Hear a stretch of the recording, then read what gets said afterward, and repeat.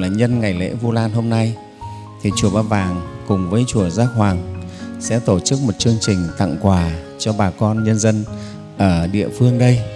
Những bà con có hoàn cảnh khó khăn, quà thì giá trị không nhiều nhưng mà nó là tất cả cái tấm lòng của tăng ni của Phật tử của hai chùa đối với bà con nhân dân của địa phương và muốn rằng trong cái lễ hội hiếu này, lễ hội Vu Lan này mọi người chúng ta được sống trong cái tình người, trong sự đùm bọc yêu thương.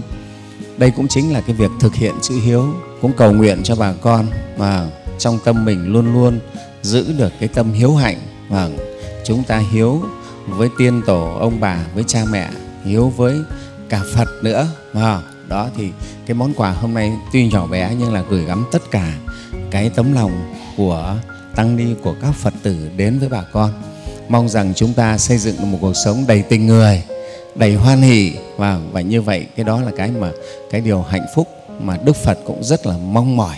Và mong mỏi chúng sinh sống biết yêu thương, sống hạnh phúc với nhau. Và chư phật ra đời cũng vì hạnh phúc cho con người, cho nhân loại và chư thiên cả.